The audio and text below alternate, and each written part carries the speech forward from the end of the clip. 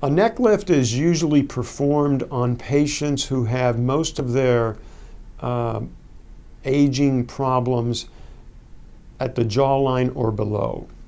And that includes some of the uh, uh, excess fullness in the uh, marionette lines, and certainly uh, the neckline down to the area of the uh, of, of, the Adam's apple. Um, we usually will do a facelift with a neck lift, but that that would be for patients who need more lift of their cheek pads and the areas around the temples.